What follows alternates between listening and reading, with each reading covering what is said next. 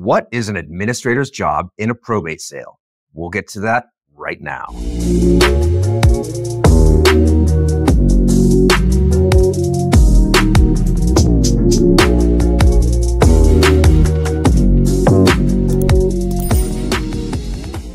Welcome back to the channel. I'm Brendan Mohr, California Realtor and Certified Probate and Trust Specialist by the California Association of Realtors. And I'm Bill Hayman. I'm a licensed professional fiduciary, a licensed California real estate broker, as well as a registered and bonded California legal document assistant specializing in probate. Please like this video, subscribe to our channel. Want your probate done for no fee? Every day we help people save thousands of dollars and eliminate headaches with our one of a kind probate administration service and real estate listing combo in California please reach out to us with any questions. Comment on this video. Our contact information is below. Email, call, text, because we can help you. So, Bill, what is the first thing that administrators should do in a probate sale? Well, the very first thing is he's got to get his appointment from the court. So he's got to go through the probate process, get it filed, and get to that first hearing and get appointed as the administrator before he can do anything in regards to a probate sale. Right, because he's not even the administrator until he gets their appointment. Yep. So that's your first job. Yep. Right. Absolutely. Get appointed. Absolutely. What would be their their next step after once they got the appointment? You're the court appointed administrator. Maybe you have whatever authority you've been granted. Sure.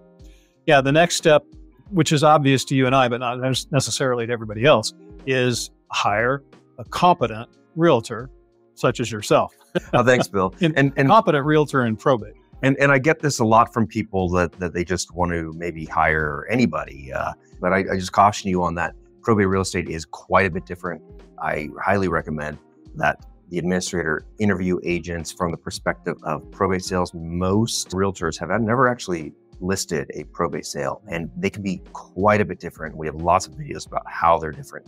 And at the end of this video, there'll be a video linked called How to Hire a Probate Realtor. And then there's uh, 10 interview questions and a downloadable list for you.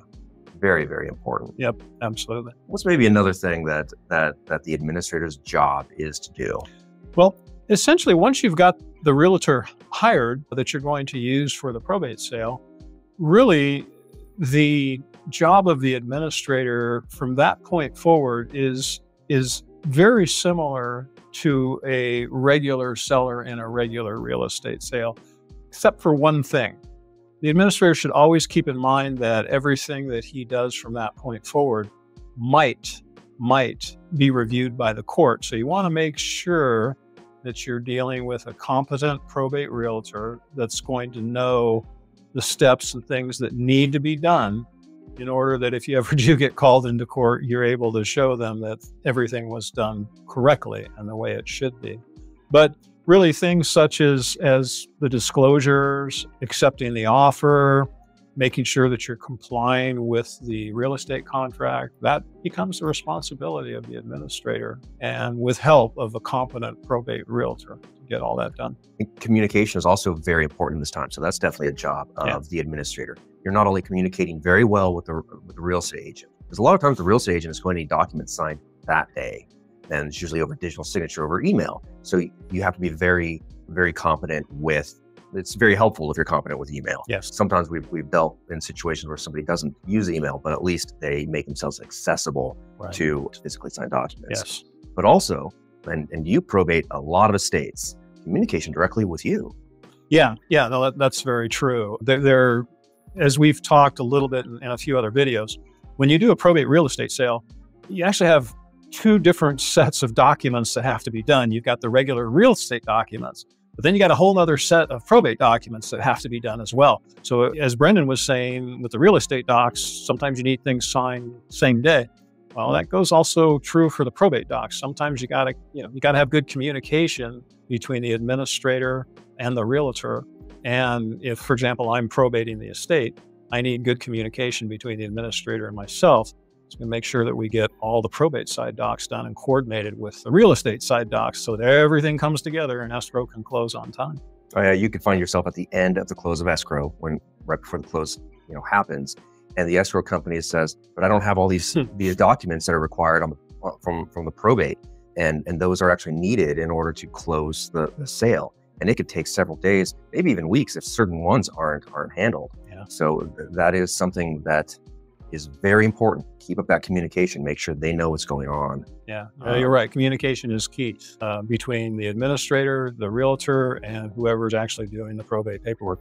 Got to have good communication there. And, right. and that might be an attorney or, like Bill, a non-attorney probate administration service. And what I call the probate professional in that case isn't necessarily monitoring the real estate sales part. It really does take the communication between yourself and your realtor to be talking with them. Absolutely. There's also things like maintaining the property. The, Mhm. the property maintenance is very important as a job by the administrator. Yeah, yeah. You know, making sure if, if you have the ability to do it, and sometimes the funds aren't available to do it, or maybe you're not in the area, but even just maintaining the condition of the home. Right.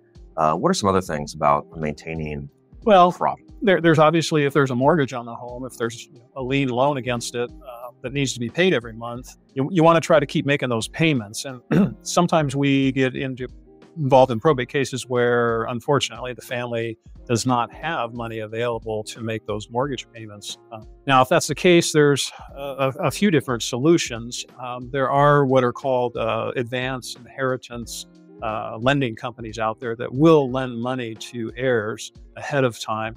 Uh, the only problem with those is their their fees are extremely high. To me, they seem like they're almost like loan shark type uh, fees, but that is a possibility. Now, the other thing is if, if they don't have the money to make the mortgage payment, you can stop making the mortgage payment, but you, you want to get the home sold before you get into a foreclosure situation, which can begin 90 days. If you miss three mortgage payments, uh, they can generally start the foreclosure process at that point.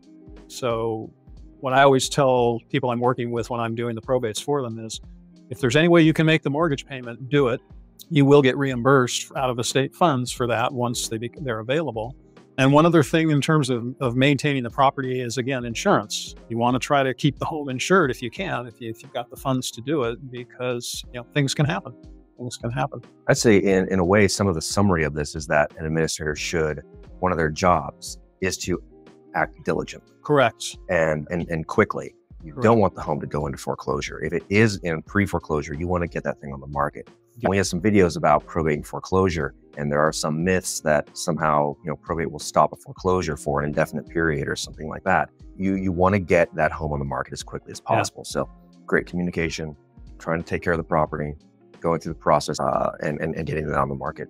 Yeah. Very very important. Absolutely. Which probably gets us to the to, to about the very end of the real estate part of it, close to the end, accepting an offer, Mhm. and then maybe some negotiations before you accept an offer, such as some offer, counter offer, stuff like that. And that's communication that you have with your real estate agent. And then, of course, guiding the process through escrow and closing, making sure you're signing the documents along the way that the, the real estate agent sends you, and just getting things done as, as quickly as possible. Well, hopefully that helps you know what an administrator's job is through the entire probate sale. Communication, diligence, it's all very important. And also looking out for the best interests of the estate. You're exactly right on that. And I know, as I've mentioned before, I am a licensed California professional fiduciary, and that's my job is to make sure that I'm always acting in the best interest of the estate, the heirs, and the family. I'll tell you, sometimes you're the administrator of the estate, which is also an option that somebody, a family member, doesn't have to be the administrator of the estate. You can actually hire somebody else, like a licensed professional fiduciary like Bill here. And from my perspective, I always love that because it's someone who knows real estate, knows the process, gets everything done quickly, and we get it done fast and Yeah. for top dollar. Well, that's all great information, Bill. I think that that people really need to know how to hire the right real estate agent. So at the end of this video, please click on next video that is called How to Hire a Probate Realtor. It's going to appear right above Bill's head.